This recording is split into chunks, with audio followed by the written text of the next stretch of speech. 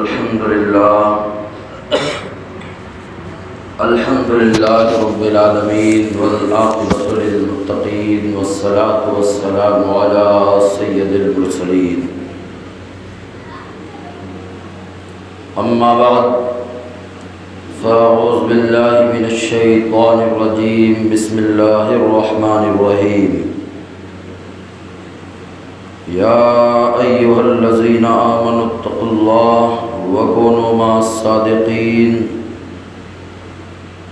صدق الله ومولانا العظيم وبلغنا على رسوله النبي الأمين المكين الكريم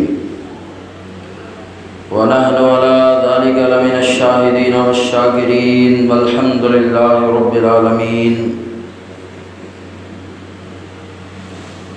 حضرت گرامی بوقار خطبہ مسنونہ کے بعد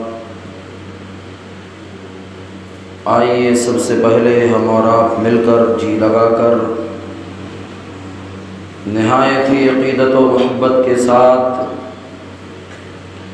اپنے آقا و مولا حضور تاجدار مدینہ، سرور قلب و سینہ، مکی مدنی تاجدار محبوب پروردگار، دونوں عالم کے مالک و مختار حضور احمد مشتبہ محمد مصطفیٰ صلی اللہ تعالی علیہ وسلم کے دربار پرانوار میں اپنی غلامی کا ثبوت پیش کرتے ہوئے والہانہ شقانہ انداز میں درود پاک پیش کریں، پڑھیں بابا سے بلند۔ اللہم صلی علی سیدنا، شفیعنا، حبیبنا، مولانا محمد وبارک وسلم صلاة و سلام علیکہ یا حبیبی یا سیدی یا رسول اللہ صلی اللہ تعالی علیہ وسلم. حسب عادت، کلام الامام، امام الکلام سے گفتگو کی شروعات کرتا ہوں. حضور سیدی سرکار فاضل بریلوی علیہ الرحمت و رضوان تحریر فرماتے ہیں وہ سگے لالا زار پھرتے ہیں وہ سگے لالا زار پھرتے ہیں، تیرے دن اے بہار پھرتے ہیں۔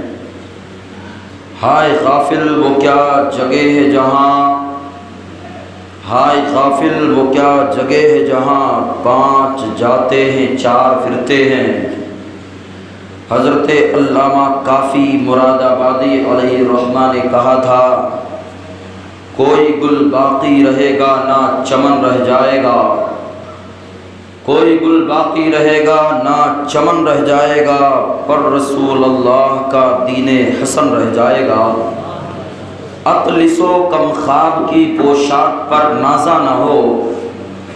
اطلس و کم خواب کی پوشاک پر نازا نہ ہو، اس تن بے جان پر خالی کفن رہ جائے گا۔ اور ہم سفیر و باغ میں ہیں چار دن کے چہچہے۔ ہم سفیر و باغ میں ہیں چار دن کے چہچہے۔ بلبلیں اڑ جائیں پر نازا نہ ہو، اس تن بے جان پر خالی کفن رہ جائے گا۔ اور ہم سفیر و باغ میں ہیں چار دن کے چہچہے۔ ہم سفیر و باغ میں ہیں چار دن کے چہچہے۔ بلبلیں اڑ جائیں گی، سونا چمن رہ جائے گا۔ حضرت گرامی بوقار گزشتہ جمعہ میں میں نے آپ سے خطاب کرتے ہوئے کہا تھا، جمعۃ المبارکہ کی فضیلت بیان کرتے ہوئے بتایا تھا کہ جمعہ کے دن جو اچھی طرح غسل کرے، اس کا طریقہ بھی میں نے بتا دیا تھا، اور اچھی طرح وضو کرے، اس کے بعد نماز جمعہ کے لیے آئے۔ اللہ تعالیٰ اس کے ہر قدم پر ایک سال کے روزہ رکھنے کا ثواب عطا فرماتا ہے، اور ساتھ ہی ساتھ رمضان کے مہینے میں قیام کرنے یعنی عبادت کرنے کا بھی ثواب عطا فرماتا ہے۔ اب غسل اور وضو کے بعد نماز ہے۔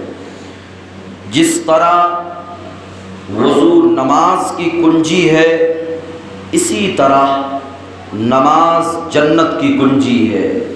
آقا کریم علیہ السلاۃ و تسلیم نے ارشاد فرمایا، وضو کامل وضو کرو۔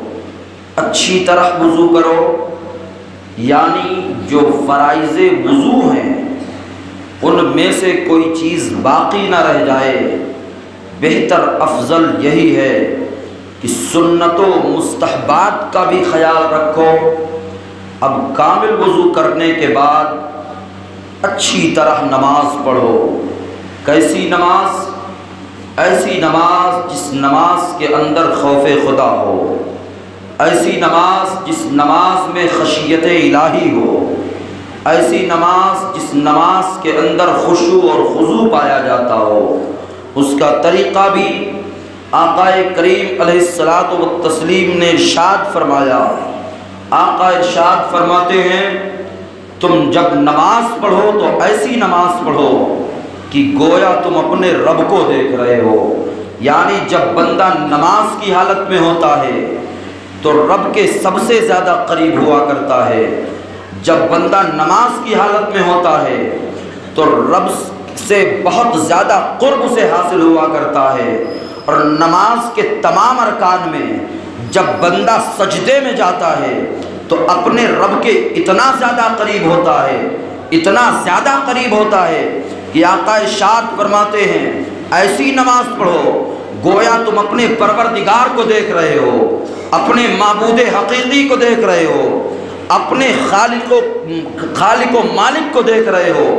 آقا آقا ارشاد فرماتے ہیں، اگر ایسی نماز نہیں پڑھ سکتے ہو کہ تم اپنے رب کو دیکھ رہے ہو، اپنے معبود کو دیکھ رہے ہو، تو ایسی نماز پڑھو، تمہارا رب تمہیں دیکھ رہا ہے، تمہارا پروردگار تمہیں دیکھ رہا ہے، اور بلا شبہ ہم کیسی بھی نماز کیوں نہ پڑھیں؟ میرا رب ان اللہ علی کل شعین قدیر ہے۔ وہ اپنی شان کے لائق ہر چیز پر قدرت و طاقت رکھتا ہے۔ ہم اگر نماز پڑھتے ہیں، کیسی بھی نماز پڑھیں، پروردگار اسے دیکھ رہا ہے، میرا رب اسے دیکھ رہا ہے، میرا معبود اسے دیکھ رہا ہے۔ تو اب بندہ اگر ایسی نماز پڑھتا ہے وہ رب کو دیکھ رہا ہے، تو اس کے نماز میں کوئی کلام نہیں ہے۔ اس کے نماز میں خوشو اور خضو پایا جائے گا۔ اس کے نماز کے اندر اللہ کا خوف شامل ہوگا۔ اس کی نماز کے اندر خشیت الہی شامل ہوگی۔ اور اگر بندہ ایسی نماز نہیں پڑھ رہا ہے کہ وہ رب کو دیکھ رہا ہے، ایسی نماز پڑھ رہا ہے یعنی ڈر سے وہ لرز رہا ہے کہ میں نماز تو پڑھ رہا ہوں، لیکن میرا پروردگار دیکھ رہا ہے، میں کیسی نماز پڑھ رہا ہوں۔ اگر بندہ ایسی نماز پڑھتا ہے کہ میں کیسا ہی صحیح گنہگار اسیاں خطا کار صحیح، لیکن آج اس وقت میں اپنے پروردگار کے حضور حاضر ہوں، اپنے رب کی عبادت کے لیے حاضر ہوں، رب کی بندگی کے لیے حاضر ہوں، میرا رب مجھے دیکھ رہا ہے، تو یقین جانو، بغیر خوشو اور خضو کیا ہے اس کے نماز کے اندر یہ کیفیت نہیں پیدا ہو سکتی ہے کہ وہ یہ سوچے کہ اس کا رب اسے دیکھ رہا ہے۔ تو جس نے ایسی نماز پڑھی کہ وہ رب کو دیکھ رہا ہے، یا جس نے ایسی نماز پڑھی کہ رب اسے دیکھ رہا ہے، اس کے نماز میں کوئی کلام نہیں ہے۔ بلا شبہ اللہ تعالیٰ ایسے لوگوں کی نمازوں کو اپنی بارگاہ میں قبول فرمایا کرتا ہے۔ تو اب نمازوں کے لیے ضروری ہے کامل وضو کرنا۔ پاک صاف ہوئے۔ میں نے گزشتہ جمعہ میں کہہ دیا تھا، طریقہ بھی بتا دیا تھا کہ اگر غسل میں تین فرائض ہیں، ان میں سے کوئی ایک چھوٹ جائے، غسل نہیں ہوا۔ آپ ناپاک تھے تو ناپاک ہی ہیں۔ اسی طرح وضو میں چار فرائض ہیں۔ ان میں سے اگر کوئی ایک چیز چھوٹ جائے، وضو نہیں ہوا۔ آپ بے وضو ہیں۔ اب جب بے وضو ہیں تو نماز نہیں ہو سکتی ہے۔ اسی طرح نماز کے لیے بھی کچھ شرائط ہیں۔ نماز کے لیے بھی کچھ فرائض ہیں۔ نماز کے لیے بھی کچھ واجبات ہیں۔ اگر ان میں سے تم نے کسی چیز کو ترک کر دیا، تمہاری نماز نہیں ہوگی۔ اسی لیے اللہ تعالیٰ کے رسول ارشاد فرماتے ہیں، طلب العلم فریضت علی کل مسلم۔ یعنی ہر مسلمان پر علم دین کا حاصل کرنا فرض ہے۔ اتنا علم ہر مسلمان حاصل حاصل کرے کہ وہ اپنے ضروریات زندگی کے مسائل سے واقف ہو سکے۔ تو پیارے، اچھی طرح نماز پڑھنا جنت کی کنجی ہے اور اچھی نماز ہم اس وقت پڑھیں گے جب نماز کا ہمیں ڈھنگ معلوم ہو۔ اچھی نماز ہم اس وقت پڑھیں گے جب نماز کا ہمیں طریقہ معلوم ہو۔ اچھی نماز ہم اس وقت پڑھیں گے جب نماز کے مسائل سے ہمیں واقفیت ہو۔ اچھی نماز ہم اس وقت پڑھیں گے جب نماز کے فرائض و واجبات و مستحبات اور اس کی شرائط سے ہم واقفیت رکھتے ہو اگر ان چیزوں سے ہم لا علم ہیں تو ہم اٹھ بیٹھ ضرور لیں گے، لیکن نماز کے واجبات کو ادا نہیں کر سکتے، نماز میں فرائض انہیں ادا نہیں کر سکتے، نماز کی شرائط کو ہم ادا نہیں کر سکتے، نماز کے مستحبات کو ہم ادا نہیں کر سکتے، نماز کی سنتوں سے ہم واقفیت نہیں ہے تو ادا نہیں کر سکتے۔ ضرورت اس امر کی ہے، ہم پہلے نماز پڑھنا سیکھیں نماز پڑھتے رہے اور نماز کا طریقہ سیکھتے رہے۔ یاد رکھو، نماز، وضو، غسل، باقی ناپاکی، استنجا باخانہ یہ وہ ساری ضرورت کی چیزیں ہیں جو روز مرہ ہمیں کام آنے والی ہے اور ان چیزوں کا علم حاصل کرنا ہر مسلمان پر صرف فرض نہیں ہے، فرض عین ہے۔ میں نے گزشتہ جمعہ میں کہا تھا، قرآن مجید ناظرہ پڑھنا، دیکھ کر پڑھنا، یہ ہر مسلمان پر فرض عین ہے۔ حفظ کرنا، یہ فرض کفایہ ہے۔ اگر کسی نے حفظ کر لیا، اللہ تعالیٰ اس کے مرتبے کو بلند فرما دے گا۔ لیکن اگر کوئی قرآن حفظ نہیں کرتا ہے، حافظ قرآن نہیں بنتا ہے، تو وہ گنہگار نہیں ہوگا۔ اسی طریقے سے آپ عالم نہیں بنتے ہو، گنہگار نہیں ہوگے۔ لیکن نماز، وضو، غسل، یہ وہ ضرورت کے جو مسائل ہیں، اگر ان مسائل سے تم مسائل کا علم حاصل نہیں کرتے ہو، تو یقین جانو تم گنہگار ہوگے۔ تمہاری پکڑ ہوگی، تمہاری پرشش ہوگی، تم تم سے پوچھا جائے گا، اتنا علم تم نے کیوں نہیں حاصل کیا تھا کہ صحیح ڈھنگ سے تم غسل کر سکو؟ اتنا علم حاصل کیوں نہ کیا تھا؟ صحیح ڈھنگ سے نماز پڑھ سکو؟ اتنا علم تم نے حاصل کیوں نہیں کیا تھا؟ صحیح ڈھنگ سے تم وضو غسل کا طریقہ جان سکو، استنجا پاخانہ کا طریقہ جان سکو۔ اسی طریقے سے جس طرح وضو غسل پاکی ناپاکی کا مسئلہ جاننا ہر مسلمان کے لیے فرض عین ہے، اسی طریقے سے ہر مسلمان کے لیے یہ بھی فرض ہے کہ وہ جو کاروبار کرتا ہے ہے، اس کاروبار کا علم رکھے۔ مثلا کوئی تجارت کرتا ہے، تو تجارت کے مسئلے سے اسے واقف ہونا چاہیے۔ کوئی اگر دوسرا کام کرتا ہے، تو ہر کام کے مسئلے سے اسے واقفیت ہونی چاہیے۔ جو کام جیسا کر رہا ہے، اپنے کام کے اعتبار سے اسے مسئلہ معلوم ہونا چاہیے۔ اگر مسئلہ معلوم نہیں ہے، تو یقین جانو، مسئلے کے لا علمی کی بنیاد پر وہ غلطیاں کرے گا اور جہاں غلطی کرے گا، وہیں گنہگار ہو جائے گا۔ تو جو ضروریات زندگی میں شامل چیزیں ہیں، ان کا علم تم حاصل کرو۔ تم مدرسوں میں جا کر نہیں حاصل کر سکتے ہو۔ روزانہ نہیں، ہفتے میں کسی مولوی سے ایک مسئلہ پوچھ لو۔ کیسا مسئلہ؟ یہ مت پوچھو۔ حضرت آدم کب پیدا ہوئے تھے؟ کہاں پیدا ہوئے تھے؟ کس سن میں، کس ہجری میں پیدا ہوئے تھے؟ یہ ضروریات زندگی میں سے نہیں ہے۔ پوچھنا ہے تو یہ پوچھو۔ امام صاحب، مولانا مولانا صاحب، نماز پڑھتا ہوں۔ نماز کے اندر یہ بات سمجھ میں نہیں آ رہی۔ یہ مسئلہ مجھے بتا دو۔ ہفتے میں ایک مسئلہ اگر تم پوچھ لو، یقین جانو، چار ہفتوں میں تمہیں چار مسائل یاد ہو جائیں گے۔ اس طریقے سے بھی تم علم دین حاصل کر سکتے ہو۔ تم مدرسوں میں بیٹھ کر، درسگاہوں میں بیٹھ کر کے، اسلامک سینٹروں میں جا کر کے اگر تعلیم حاصل نہیں کر سکتے ہو، چلتے پھرتے پوچھ کر مسائل حاصل کر سکتے ہو، مسائل کو سیکھ سکتے ہو۔ تو ایسے مسائل جو ضروریات زندگی میں سے ہیں، ان کا علم حاصل کرنا ہر مسلمان پر فرض عین ہے۔ اگر تم نے حاصل نہیں کیا، تمہاری پکڑ ہوگی۔ تم سے پوچھا جائے گا، تم سے اس کے بارے میں سوال کیا جائے گا۔ اور اس کے بدلے تمہیں وہاں گناہ، اس کے بدلے تمہیں عذاب بھی دیا جائے گا۔ تو پیارے، ضرورت اس امر کی ہے۔ ہم علم دین حاصل کریں۔ ہم چلتے پھرتے بھی علم دین حاصل کرتے ہیں۔ اعلیٰ حضرت فاصل بریلوی رضی اللہ تعالیٰ فرماتے ہیں، علم دین صرف کتابوں سے حاصل نہیں ہوتا ہے۔ علم دین صرف درسگاہوں سے حاصل نہیں ہوتا ہے۔ علم دین صرف دارالعلوم میں جا کر حاصل نہیں کیا جاتا۔ ہے علم دین لوگوں سے کلام کر کے بھی حاصل کیا جا سکتا ہے، لوگوں سے سن کر بھی حاصل کیا جا سکتا ہے، لوگوں سے باتیں کر کے بھی حاصل کیا جا سکتا ہے۔ تو علم دین حاصل کرنے کے بہت سارے ذرائع ہیں۔ آج تم موبائل فون لے کر کے دنیا کی خرافاتوں میں تزیہ اوقات کرتے ہو، اپنے وقت کی بربادی، اپنے وقت کو تباہ و برباد کرتے ہو۔ اگر اسی موبائل فون سے تم چاہو، اپنے ضروریات کے مسائل کو حل کر سکتے ہو۔ آپ ٹیلی گرام پر چلے جاؤ، ایک دو نہیں، ہزاروں اسلام اسلامی کتابیں تمہیں مل جائیں گی، ہر زبان میں ملے گی، ہندی میں ملے گی، گجراتی میں ملے گی، عربی میں ملے گی، اردو میں ملے گی۔ تم اپنے ضرورت کی کتابیں نکالو، پانچ منٹ کا وقت ملا ہے۔ ایک مسئلہ دیکھو، جو زبان تمہیں پڑھنا آتا ہے، اس زبان میں پڑھو۔ اس مسئلے کو یاد کر لو۔ اس طریقے سے آپ Facebook WhatsApp Google Twitter جتنے ویب سائٹیں چلاتے ہو، ان تمام ویب سائٹوں پر تجزیہ اوقات کے بجائے اگر تم چاہو تو علم دین حاصل کر سکتے ہو۔ اپنے لیے آخرت کا سامان پیدا کر سکتے ہو، اپنے لیے زاد آخرت تیار کر سکتے ہو، لیکن کب پیارے، جب تمہارے دلوں میں شوق ہوگا، تمہارے دلوں کے اندر علم دین حاصل کرنے کی چاہت ہوگی، تمہارے دلوں کے اندر حضور علم کی لگن پائی جائے گی، تب تم جا کر کے کہیں ضروریات کے مسائل سے واقفیت حاصل کر سکتے ہو۔ تو یہ اچھی طرح اپنے دل و دماغ میں بٹھا لو۔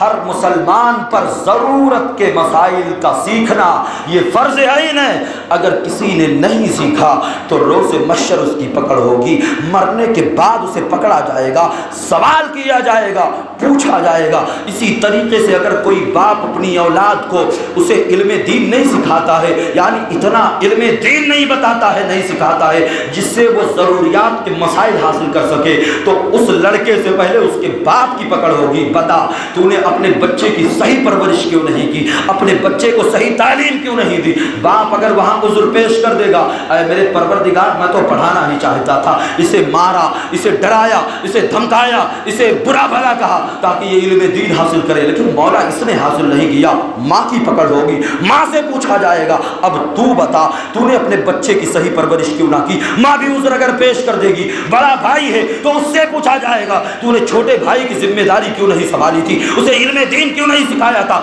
ضروریات کے مسائل سے واقفیت کیوں نہیں دلائی تھی؟ وہ بھی اگر عذر پیش کر دے گا، تب جا کر اس کی باری آئے گی۔ جس نے علم حاصل نہیں کیا، اب اس سے پوچھا جائے گا، تو بتا۔ آخر جب جانتا تھا، اللہ تعالیٰ نے ہر مسلمان پر علم دین کا حاصل کرنا فرض کر دیا ہے، تو تو نے علم دین حاصل کیوں نہیں کیا؟ اس وقت اس کے پاس کوئی جواب نہیں ہوگا۔ وہ دنیا کی کوٹ کچہری نہیں ہوگی، جہاں تم جھوٹے گواہوں کو پیش کر دو گے۔ وہ رب کی عدالت ہوگی، وہاں تمہارے آزا گواہی دیں گے، تمہارے ہاتھ گواہی دیں گے، تمہاری زبان گواہی دے گی، تمہارے کان گواہی دے گے اللہ تعالیٰ آزائے بدن کو زبان عطا فرمائے گا۔ تم نے ہاتھ سے جو گناہ کیے، یہ ہاتھ اپنی زبان سے بول کر کہیں گے، مولا تیرے اس بندے نے میرے ذریعے یہ گناہ کیا تھا، تمہارے پاؤں گواہی دیں گے۔ اللہ تعالیٰ انہیں زبان عطا فرمائے گا۔ اے میرے پروردگار، تیرے فلا بندے نے یا اس بندے بندے نے میرے ذریعے یہ گناہ کام کیا تھا۔ زبانیں گواہی دے گی، کان گواہی دے گی، آنکھیں گواہی دے گی۔ تو مسلمانوں، تم اپنی زندگی کو غفلت میں مت گزارو۔ قریب آؤ، دین کے دین سیکھو۔ اتنا دین ضرور سیکھو کہ تم اپنے ضروریات کے مسائل سے واقفیت حاصل کر سکو۔ آج گھر گھر میں شوہر بیوی میں لڑائیاں ہو رہی ہیں، جھگڑے ہو رہے ہیں۔ کس بنیاد پر؟ علم نہ حاصل ہونے کی بنیاد پر۔ کاش تم نے میاں بیوی کے ساتھ زندگی گزارنے کے مسائل کو سیکھا ہوتا۔ آج تمہارے گھروں کے اندر چوٹو میں میں نہیں ہوتی۔ آج تمہارے گھروں کے اندر جھگڑے نہیں ہوتے۔ آپسی اختلافات پیدا نہیں ہوتے۔ آج بیٹا باپ کو برا بھلا کہہ رہا ہے۔ باپ بیٹے کو برا بھلا کہہ رہا ہے۔ اس کی بنیادی وجہ یہی ہے، تم نے علم دین کو حاصل نہیں کیا۔ کاش تم نے حقوق اولاد سے واقفیت حاصل کی ہوتی۔ کاش اولادوں نے علم دین حاصل کر کے والدین کے مقام مرتبے کو پہچانا ہوتا۔ آج ہمارے گھروں کے اندر یہ تباہی برباد بربادی نہیں ہوتی، تو ضرورت اس امر کی ہے پیارے تم دین کے قریب آؤ۔ جب دین کے قریب آؤ گے، مسائل جانو گے، صحیح وضو کرو گے، صحیح غسل کرو گے، صحیح نماز پڑھو گے۔ اور جب صحیح نماز پڑھو گے، تو آقا کا فرمان عالی شان ہے، نماز جنت کی کنجی ہے۔ جس نے صحیح نماز ادا کی، وہ جنت میں داخل ہو گیا۔ گویا اس نے جنت کی کنجی حاصل کر لی ہے۔ جب چاہے جنت کا دروازہ کھول کر اس میں داخل ہو جائے۔ درود پاک پڑھ لے اللہ صلی اللہ علیہ سیدنا مولانا محمد وبارک وسلم صلاۃ و سلام علیکہ یا رسول اللہ صلی اللہ علیہ وسلم. پیارے، صحیح ڈھنگ سے نماز پڑھو. بغیر نماز کے مسائل سیکھے، صحیح ڈھنگ سے نماز پڑھنا یہ ناممکن ہے.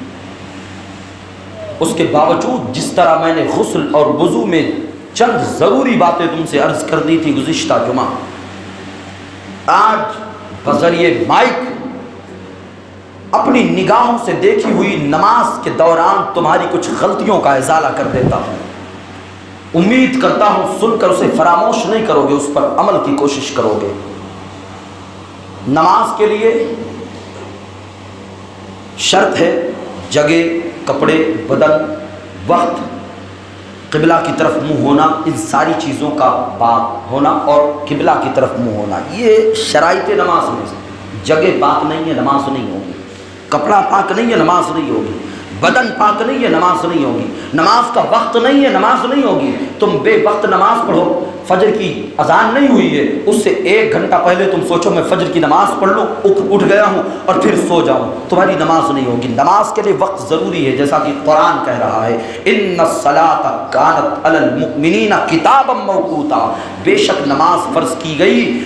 ہر مسلمان پر وقت کی پابندی کے ساتھ جو نماز کا وقت ہے، اب نماز کے وقت سے مطلب یہ نہیں کہ اگر رحیمی مسجد میں فجر کی نماز پونے سات بجے ہے تو پونے سات بجے تم نماز پڑھو گے تبھی نماز ہوگی۔ نہیں، وقت سے مراد یہ ہے، جب سے فجر کا وقت شروع ہوا اور جب تک فجر کا وقت ہے، لگ بھگ ایک گھنٹہ اٹھارہ منٹ ہوتے ہیں، اس کے بیچ تم کبھی بھی نماز فجر ادا کر سکتے ہو، تمہاری نماز ہو جائے گی۔ تو نماز ادا کرنے کے لیے وقت نماز کا وقت ہونا یہ شرائط نماز میں سے ہے۔ تمہارا چہرہ قبلہ کی جانب نہیں ہے، تمہاری نماز نہیں ہوگی، یہ شرائط نماز میں سے ہے۔ ضرورت اس عمر کی ہے۔ جب تم نماز پڑھو، قبلہ کی جانب منہ کر کے نماز پڑھو۔ چلتی ٹرینوں میں نماز پڑھنے کا حکم اسی لیے دیا گیا۔ اگر سمت تمہیں معلوم نہیں ہے یہ معلوم نہیں ہے کہ مغرب کا مغرب کدھر ہے یعنی پچھم کدھر ہے، قبلہ کدھر ہے۔ تو ٹرین میں جس طرف منہ کر کے چاہو نماز پڑھ سکتے ہو، لیکن بعد میں جب گھر آؤ، اس نماز کا اعادہ کرنا، لوٹانا، دہرانا تمہارے لیے ضروری ہے۔ تو پیارے، یہ بات اچھی طرح اپنی ذہن میں بٹھا لو۔ نماز کا وقت ہونا، قبلہ کی طرف منہ کرنا، بدن، جگہ، لباس وغیرہ کا پاک ہونا، ان ساری چیزوں کو یاد رکھو۔ یہ شرائط نماز میں سے ہیں۔ اگر تم نے چھوڑ دیا، نماز نہیں ہوگی۔ ایک اور خامی بتا دوں۔ نماز کے دوران نیت کے تعلق سے، اکثر مجھ سے لوگوں نے نیت کے تعلق سے یہاں مسائل پوچھے کہ مولانا مجھے نیت کرنا نہیں آتا، یا میں نیت کرتا ہوں تو اس طریقے سے کرتا ہوں، یا میں نیت کرتا ہوں تو یہ الفاظ کہتا ہوں۔ آپ اچھی طرح یاد کر لیں، نیت زبان سے کہنا افضل ہے، لیکن نیت اس کا نام ہی نیت ہے۔ نیت کہتے ہیں دل کے ارادے کو۔ کس کو کہتے ہیں؟ دل کے ارادے کو نیت کہتے ہیں۔ اگر تم نے دل میں یہ سوچ لیا، میں فجر کی نماز دو رکعت سنت پڑھنے جا رہا ہوں، تمہاری نماز ہو جائے گی۔ زبان سے نہیں کہہ پا رہے ہو، تب بھی نماز ہو جائے گی۔ اس لیے کہ زبان سے کہنا یہ افضل ہے، لیکن دل میں ارادہ کر لینا کافی ہے۔ اگر نیت نہیں کیے یعنی تم نے دل میں ارادہ نہیں کیا کہ میں فجر کی نماز سنت یا فرض پڑھنے جا رہا ہوں، ویسے آئے کھڑے ہو گئے، ہاتھ باندھے، اٹھے بیٹھے چلے گئے تبھی نماز نہیں ہوگی۔ نماز کے لیے نیت شرط ہے، نماز کے لیے نیت ضروری ہے، لیکن نیت زبان سے کہنا، یہ ضروری نہیں ہے۔ نیت دل میں ہونا یہ ضروری ہے۔ تو اپنے دل میں یہ نیت رکھو۔ میں کون سی نماز پڑھنے جا رہا ہوں؟ کیسی نماز پڑھنے جا رہا ہوں؟ فجر کی، ظہر کی، عصر کی، مغرب کی، عشاء کی، یا تہجد کی، یا نماز جنازہ کی، کوئی بھی نماز ہے۔ اپنے دل میں تم نیت رکھو۔ میں نماز پڑھنے جا رہا ہوں۔ ایک اور بات اچھی طرح اپنی ذہن میں بٹھا لیں۔ آپ جب بھی نماز کے لیے کھڑے ہوتے ہیں اللہ اکبر کہہ کر اپنے ہاتھوں کو اٹھاتے، میں نے دیکھا بہت سے لوگ بڑی ہی لاپرواہی کے ساتھ نماز پڑھتے۔ ایسا لگتا ہے کہ رسے سے باندھ کر گھسیٹتے ہوئی کوئی لایا ہو اور مسجد کی صف میں انہیں کھڑا کر دیا ہو۔ آئیں گے، کھڑے ہوں گے۔ کھڑے کو ایسے ہاتھ کر لیے، نہیں پیارے، جو نماز کا صحیح طریقہ ہے، اس طریقے پر تم نماز پڑھو۔ جب اللہ اکبر کہہ کر اپنے دونوں ہاتھوں کو کانوں تک اٹھاؤ تو اس انداز میں اٹھاؤ، تمہاری ہتھیلیاں قبلہ کی جانب ہو۔ ہاتھ اس انداز میں اٹھے انگوٹھے تمہارے۔ دونوں کانوں کی لو سے نیچے لگیں۔ اور اس طریقے سے لگانے کے بعد اپنے ہاتھوں کو اللہ اکبر کہتے ہوئے نیچے لانا سنت ہے۔ یعنی ایسا نہیں، اللہ اکبر تم نے کہہ دیا، اب ہاتھ اٹھاؤ، نیچے لا کر باندھو اللہ اکبر کہتے ہوئے اٹھاؤ اور کہتے ہوئے ہی اپنے ہاتھ کو نیچے لا کر ناف کے نیچے باندھ لو۔ کچھ لوگ ہاتھ لاتے ہیں، نیچے ایسے لٹکا دیتے ہیں۔ دو تین بار ایکسرسائز کرتے، اس کے بعد ایسے باندھتے ہیں۔ تمہیں اچھی طرح معلوم ہونا چاہیے کہ نماز کے لیے جب تم نے کانوں تک ہاتھ اٹھایا، تو اب اللہ اکبر کہتے ہوئے نیچے لانا ہے۔ اور لانے کے بعد اس طرح لٹکانا نہیں ہے پیارے۔ اس طرح آپ اللہ اکبر کہے، کانوں تک ہاتھ لے گئے، دونوں انگوٹھے کانوں کے لو سے لگے، نیچے لاؤ، اس طریقے سے ناف کے نیچے باندھ لو۔ اب ہاتھ باندھنے کا بھی ایک طریقہ ہے، تین انگلیاں تمہارے داہنے ہاتھ کی۔ بہت سے لوگوں کو تو میں نے ایسی نماز پڑھتے ہوئے یہی دیکھا ہے کہ ان کا داہنا ہاتھ نیچے، بایاں ہاتھ اوپر ہوتا ہے۔ میں نے سوچ میں پڑ گیا، اللہ اکبر، کیا آج تک اسے کسی نے ہاتھ باندھنے کا طریقہ تک نہیں بتایا ہے؟ اور ایسی بارگاہ میں جو پوری کائنات کا خالق و مالک ہے، ایسی بارگاہ میں آیا اور اتنا بے ادب ہو کر آیا کہ ہاتھ باندھ کر صحیح ڈھنگ سے جب اسے کھڑے ہونے کا طریقہ نہیں معلوم، تو یہ پوری نماز کس انداز میں پڑھے گا؟ تو آپ اچھی طرح یاد رکھیں، نماز میں سیدھا ہاتھ اوپر ہو بایاں ہاتھ جو الٹا ہاتھ ہے یہ نیچے ہو اور سیدھے ہاتھ کی یہ تین انگلیاں تمہارے کلائی پر اس طرح ہو اور دونوں یہ انگلیاں چھوٹی انگلی اور انگوٹھا، اس سے تم اپنی کلائی کو اس طرح مضبوطی سے باندھ لو۔ اکثر لوگ سوال کیے اور اکثر لوگوں کے دلوں میں بھی یہ سوال ہوگا۔ کہتے نماز میں برے برے خیالات آتے ہیں، نماز میں بری بری چیزیں خیال میں آتی یا جو چیزیں نہیں یاد کرنا چاہتا ہوں وہ بھی نماز میں خیال میں آ جاتی ہیں۔ تو ایک چیز میں تمہیں وظیفہ بتاتا ہوں، ایک عمل بتاتا ہوں۔ اس عمل کو یاد کر لو، یقین جانو کچھ دنوں میں تمہاری یہ تکلیف دور ہو جائے گی۔ جب تم ناف کے نیچے ہاتھ لا کر باندھو، تو اپنے ہاتھوں کو مضبوطی سے پکڑو اور ناف پر تھوڑا دبا کر اپنے ہاتھ کو باندھو۔ یقین جانو، وہ شیطانی وسوسے جو نماز میں تمہارے اندر پیدا ہوتے ہیں۔ انشاءاللہ مضبوطی کے ساتھ ہاتھ باندھنے کی برکت سے وہ وسوسے ختم ہو جائیں گے۔ تو اب پیارے، نماز کے لیے تم نے نیت باندھ لی ہے۔ اب تمہیں کیا کرنا ہے؟ اب تمہیں سنا پڑھنا ہے۔ اگر سنا یاد نہیں ہے، تو تم یاد کر لو۔ سنا پڑھنا نماز میں سنت ہے۔ اب سنا کے تعلق سے بھی میں دو مسئلے بتا دوں یہاں پر۔ بہت سارے لوگ اس چیز سے واقف نہیں ہوں گے، نہیں جانتے ہوں گے۔ آپ لوگوں کی تو چھوٹی بات ہے۔ میں مولویوں کی بات کرتا ہوں، اس مسئلے کو شاید بہت سے مولوی بھی نہ جانتے ہوں۔ مسئلہ یہ ہے کہ نماز کے اندر آپ آئے، امام صاحب نماز پڑھا رہے ہیں۔ ایسی نماز جس میں قرت بلند آواز سے نہیں ہو رہی ہے، جیسے ظہر کی نماز عصر کی نماز۔ سمجھ گئے؟ اس میں قرت جہری نہیں، سری ہوتی ہے۔ یعنی امام قرت تو کرتا ہے، لیکن بلند آواز سے، تیز آواز سے نہیں کرتا۔ آپ اس میں آئے، اللہ اکبر کہہ کر آپ نے ہاتھ باندھ لیا۔ اب آپ سنا پڑھ لیں۔ کیوں سنا پڑھ لیں؟ امام کی آواز تمہارے کانوں تک نہیں آ رہی ہے۔ لیکن اگر آپ مغرب کی نماز میں آئے، عشاء کی نماز میں آئے، فجر کی نماز میں آئے، امام قرت کر رہا ہے، تو ہاتھ باندھ کر آپ خاموشی سے کھڑے ہو جاؤ۔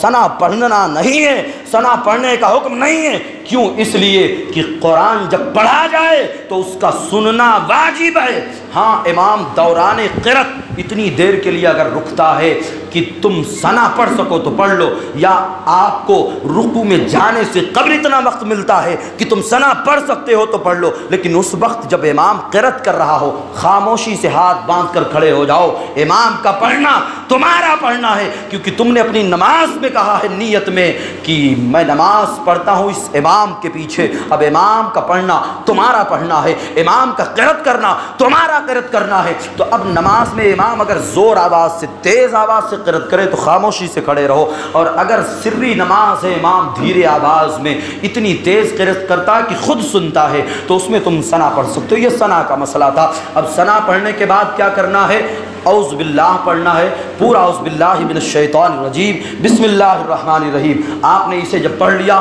تو اب آپ کو الحمد شریف پڑھنا ہے۔ الحمد ہر نماز کی ہر رکعت میں پڑھنا فرض ہے۔ اگر تم نہیں پڑھو گے، اس کے بغیر نماز ہی نہیں ہوگی۔ تو پیارے الحمد شریف پڑھنا ہے۔ اگر اکیلے نماز پڑھ رہے ہو تو اکیلے نہیں پڑھ رہے ہو، امام کے پیچھے پڑھ رہے ہو تو ثنا پڑھ لیے۔ باقی تمہیں الحمد نہیں پڑھنا ہے۔ امام پڑھے تو اسے دہرانا بھی نہیں ہے۔ خاموشی کے ساتھ کھڑے ہو کر کے سننا ہے۔ اب الحمد و شریف کے بعد تم کوئی صورت پڑھو۔ اسی لیے ایک صورت یا ایک بڑی آیت یا تین چھوٹی آیتوں اور الحمد و شریف کا یاد کرنا ہر مسلمان پر فرض آئی ہے۔ جس مسلمان نے قرآن مجید میں سے سورہ فاتحہ یا ایک سورت یا ایک بڑی آیت یا تین چھوٹی آیتیں نہیں یاد کی، وہ گنہگار ہوگا۔ لہٰذا تم صحیح طریقے پر الحمد شریف یاد کر لو، زیادہ صورتیں نہیں یاد کر سکتے۔ ایک سورہ یاد کر لو، تمہاری نماز ہو جائے۔ ہر رکعت میں وہی صورت پڑھو، تمہاری نماز ہو جائے گی۔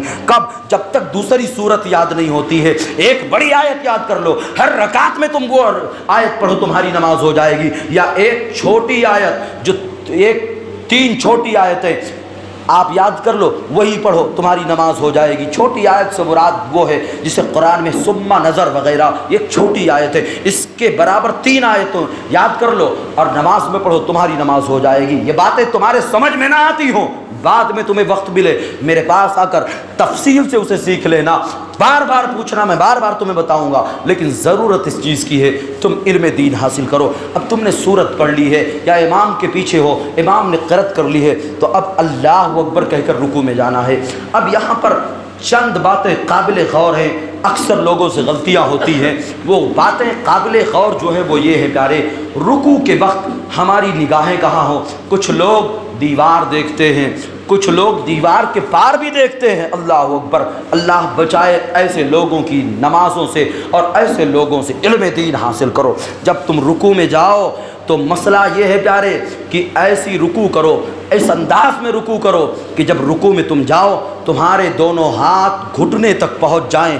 پیٹھ اور سر تمہارا اس قدر برابر ہو کہ اگر پانی کا بھرا ہوا گلاس کوئی چاہے تو اس پر رکھ دے۔ ایسا نہیں ہے کہ تم جاؤ، ہاتھ اس طرح کر لو، تھوڑا سا جھک جاؤ، رکو ہو گئی۔ نہیں پیارے ہاں عورتوں کے لیے حکم ہے۔ اور اس لیے حکم ہے، عورتوں کے نماز میں پردے کا بھی خیال رکھنا ہے۔ تو عورتوں کے لیے حکم یہ ہے کہ وہ زیادہ نہ جھکے، صرف اتنا جھکیں کہ ان کے دونوں ہاتھ گھٹنوں تک پہنچ جائیں۔ آج بہت سے مرد عورتوں کی طرح جھکتے نظر آ رہے ہیں۔ تو تم مردوں کی طرح جھکو، اس انداز میں جھکو کہ تمہارے دونوں ہاتھ گھٹنے تک پہنچیں اور اپنے ہاتھوں کو اس طرح پھیلا کر گھٹنے کو مضبوطی سے پکڑ لو۔ تمہارے پیٹھ، تمہارے سر برابر ہو۔ یہ رکو کا صحیح طریقہ ہے۔ آج ایک مسئلہ یہاں اور بتا دوں۔ اکثر لوگ ایسے کپڑے پہن کر آتے ہیں۔ ایسا لباس پہن کر آتے رکو میں جاتے ہیں، تو ان کی نماز تو خراب ہو ہی رہی ہے۔ جو ان کے پیچھے صف میں اس کی نماز بھی خراب ہو جائے۔ آپ اشارہ سمجھ رہے ہوں گے، یہ فیشن اور ماڈرن کے نام پر تم ایسے پینٹوں کو پہننا چھوڑ دو نوجوانوں۔ یاد رکھو وہ نمازیں جو تم پڑھنے کے لیے آتے ہو، وہ نمازیں تمہاری بخشش کا سامان ہو سکتی ہے فلمی اختروں کی طرز زندگی پر پہنے ہوئے کپڑے تمہارے بخشش کا ذریعہ نہیں بن سکتے۔ ایک سجدہ رب نے قبول کر لیا، وہ ایک سجدہ تمہاری بخشش کا سامان بن جائے گا۔ تو پیارے بہتر ہے۔ تم اسلامی لباس پہن کر نماز کے لیے آؤ۔ آپ رکو میں جاتے ہو، آدھی پیٹھ بھی کھل گئی اور پیٹھ کے نیچے کا بھی آدھا کھل گیا ہے۔ سب کچھ نظر آ رہا ہے۔ ایسے لباس قطعی مت پہنو۔ نہ تم نماز میں ایسے لباس پہنو، نہ نماز کے باہر ایسے لباس پہنو۔ اسلام پردے کا حکم دیتا ہے۔ اسلام حیا کا حکم دیتا ہے۔ اسلام شرم کا حکم دیتا ہے۔ اسلام ایسا حکم دیتا ہے جس حکم پر عمل کرنے کے بعد تمہاری عزت و آبرو کی حفاظت ہو سکے۔ تو تم ایسے لباس کیوں پہنتے ہو جہاں اوریانیت نظر آ رہی ہو، بے حیائی نظر آ رہی ہو، بے شرمی نظر آ رہی ہو؟ اپنے اندر حیا پیدا کرو، اپنے اندر شرم پیدا کرو۔ شرم ایمان کا حصہ ہے، شرم ایمان کا جز ہے، حیا ایمان کا حصہ ہے۔ اپنے اندر حیا پیدا کرو، جو ایمان والا ہوگا وہ بے حیا نہیں ہو سکتا۔ ہے درست شریف پڑھے اللہ صلی اللہ سیدنا مولانا محمد وبارک وسلم صلاۃ وسلام علیہ۔ تفصیلی گفتگو کرنے کا وقت نہیں ہے۔ وہ چند باتیں جو ضروری ہیں نماز میں میں تمہیں بتا دوں جو میں اپنی آنکھوں سے دیکھ چکا ہوں۔ اکثر لوگوں کو میں نے دیکھا رکو کے بعد جب وہ سجدے میں جاتے ہیں رکو سے اٹھتے ہیں تو پورا کھڑے نہیں ہوتے۔ ایک دو لوگوں کو تو میں جانتا ہوں۔ اب وہ لوگ سمجھ گئے ہوں گے کون ایسا کرتے۔ وہ رکو سے اٹھتے تو ہیں، لیکن کھڑے نہیں ہوتے۔ سر اٹھائے، ڈائریکٹ سجدے میں چلے گئے۔ بسا اوقات اگر امام کے بغل میں وہ نماز پڑھتے تو دیکھتا ہوں مجھ سے پہلے وہ سجدے میں پڑے نظر آ رہے ہیں۔ امام سے پہلے سجدے یا رکو میں مت جاؤ۔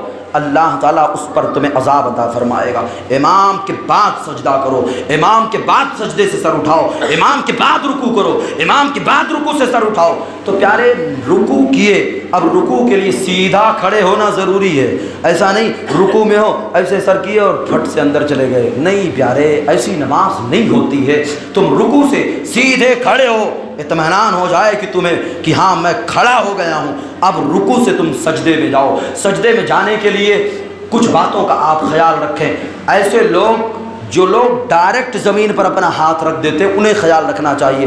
اگر کوئی وجہ ہے عذر ہے، تکلیف ہے، پریشانی ہے۔ مثلا پیر میں تکلیف ہے کچھ لوگوں کے، گھٹنا مڑتا نہیں ہے۔ جب تک وہ زمین پر ہاتھ نہ رکھے، وہ سجدہ نہیں کر سکتے۔ تو ان کے لیے عذر ہے یہ۔ ان کے لیے چھوٹ ہے۔ وہ پہلے زمین پر ہاتھ رکھ سکتے۔ لیکن عذر شرعی نہ ہونے کی بنیاد پر اکثر لوگ عادتاً ایسا کرتے ہیں۔ رکو سے سجدے میں جانا ہوا، گھٹنا نہیں زمین پہ پہنچتا، اس سے پہلے جناب کے ہاتھ پہنچ جاتے ہیں۔ اب وہ ہاتھ پہنچ گئے، بعد میں گھٹنے پہنچے۔ نہیں پیارے، یہ طریقہ غلط ہے۔ الٹا طریقہ ہے، صحیح طریقہ سجدہ کرنے کا یہ ہے کہ جب نماز کے لیے، نماز میں تم سجدے کے لیے جاؤ تو تم رکو سے کھڑے ہوئے ہو۔ اب پہلے اپنے دونوں ہاتھوں کو گھٹنے پر رکھو۔ کہاں رکھو؟ گھٹنے پر رکھو۔ رکھنے کے بعد دونوں گھٹنے کو زمین پر رکھو۔ جب دونوں گھٹنے زمین پر رکھ لو، تب اپنے ہاتھ اٹھا کر سجدے کی جگہ پر رکھو اور بیچ میں اتنا گیپ رکھو، اتنا فاصلہ رکھو کہ دونوں ہاتھوں کے بیچ اپنا سر پیشانی اور ناک رکھ سکو۔ اب ناک اور پیشانی رکھنے میں بھی ایک طریقہ ہے۔ پہلے پیشانی نہیں رکھنا ہے، پہلے ناک رکھنی ہے۔ پہلے ناک رب کی بارگاہ میں لگاؤ۔ اس کے بعد اپنی پیشانی کو لگاؤ۔ اب اسی انداز میں جب تم سجدے سے اٹھ رہے ہو، تو ترتیب سے اس کا طریقہ ہے۔ پہلے پیشانی اٹھاؤ، پھر ناک اٹھاؤ، پھر ہاتھ اٹھاؤ، پھر ہاتھ کو گھٹنے پر رکھو، پھر گھٹنا اٹھاؤ اور نماز سے یعنی سجدے سے کھڑے ہو جاؤ۔ تو اب اسٹیپ بائی اسٹیپ یاد کر لو۔ پہلے ہاتھ گھٹنے پر، پھر گھٹنا زمین پر، پھر گھٹنے سے ہاتھ اٹھا کر سجدے کی جگہ پر، پھر ناک، پھر پیشانی۔ اب اٹھانا ہے تو پہلے پیشانی، پھر ناک، پھر ہاتھ، پھر گھٹنا۔ تو یہ سجدے کا طریقہ ہے۔ اچھا سجدے میں ایک چیز بہت ضروری ہے پیارے۔ اگر وہ نہیں کرو گے، سجدہ نہیں ہوگا۔ سجدہ نہیں ہوا، نماز نہیں ہوگی۔ سجدے میں تین انگلیوں کا لگانا ضروری ہے۔ بہت سے لوگ نماز میں سجدے میں تو پیرے اٹھا لیتے ہیں۔ ایسا لگتا ہے وہ بندر کی طرح کلوٹی کھا کر دکھانا چاہتے ہو۔ نہیں پیارے، نماز میں تم ایسی ادائیں مت دکھاؤ۔ نماز ادائیں دکھانے کا نام نہیں ہے۔ نماز خشیت الہی دل میں بٹھا کر معدب ہو کر اللہ کی بارگاہ میں نماز کے ارکان کو ادا کرنے کا نام ہے۔ وہ طریقہ جو طریقہ مصطفیٰ ہے، وہ طریقہ جو میرے آقا نے عطا فرمایا ہے۔ تو نماز میں جب سجدے میں تم جاؤ تو ضروری ہے تمہارے پیر کی تین تین انگلیاں لگی ہوں۔ کتنی؟ تین تین انگلیاں زمین پر لگی ہوں۔ ایسے نہیں لگی ہوں۔ کچھ لوگ تکلیف نہیں برداشت کرنا چاہتے، وہ ایسے لگا لیتے ہیں۔ نہیں پیارے، تین انگلیاں ہاتھ کی تمہارے اس طرح لگی ہوں۔ یعنی پیٹ ان کا زمین پر ہو اور انگلیاں اندر سے باہر کی طرف نکلی ہوں۔ اس طرح نہیں، اس طریقے سے لگی ہوں۔ یہ طریقہ ہونا چاہیے تمہاری انگلیوں کے لگنے کا۔ تین انگلیاں کم سے کم سجدے کی حالت میں دونوں پاؤں کی زمین سے ٹچ ہونی چاہیے اور پیر کہیں اٹھنا نہیں چاہیے۔ اور تین انگلیاں لگا کر کے تم سجدہ کرو۔ پھر جب تم سجدے سے بیٹھو، تب بھی یہ خیال رہے۔ بیٹھتے وقت اسی انداز میں تمہارا بایاں پیر بچھا ہو، اس پر بیٹھو اور داہنا پیر کھڑا ہو، اس کی تین انگلیاں زمین پر لگی ہوں۔ یہ سجدے کے لیے ضروری ہے کہ یہ نماز کے وہ مسائل ہیں جنہیں یاد کرنا ہر مسلمان کے لیے ضروری ہے۔ تم نماز کے مسائل یاد کرو۔ بہت سے لوگ سونا اور چاندی کی کئی کئی انگوٹھی انگوٹھیاں پہن کر نماز پڑھتے ہیں۔ یہ ساری چیزیں ترک کر دو۔ اگر نماز ہے، عبادت ہے، اچھے اعمال تمہارے پاس ہیں، تو سب کچھ ہے۔ اس سے بڑھ کر کوئی دولت نہیں ہے۔ تم چند فیشن کے نام پر اپنی آخرت تباہ مت کرو۔ کچھ لوگ کئی انگوٹھیاں پہنتے، مرد کے لیے ایک انگوٹھی، وہ بھی ساڑھے چار ماشے سے کم۔ ایک نک کی انگوٹھی، بغیر نق والی بھی جائز نہیں۔ ایک نک کی انگوٹھی، ساڑھے چار ماشے سے کم کی انگوٹھی۔ چاندی کی مسلمان پہن سکتا، باقی کوئی دوسرا زیور اس کے لیے جائز نہیں۔ سونے کے چین ہیں، کڑے ہیں، اور دوسری دھاتوں سے بنے ہوئے لوہے تانبے کی کوئی بھی چیز ہے۔ تم نماز میں اس سے دور رہو، تمہاری نمازیں نہیں ہوں گی۔ اپنے گریبان کے بٹن، آستین وغیرہ صحیح رکھو۔ لباس کا خیال رکھو، یہ نماز میں لیے ضروری ہے۔ تو میں نے آیت کریمہ پڑھی تھی، بلکہ آج آیت کریمہ میری زبان سے نکل گئی تھی۔ یا الذین امن اتق اللہ، اے ایمان والو، اللہ سے ڈرو۔ وکون ما صادقین، اور سچوں کے ساتھ ہو جاؤ۔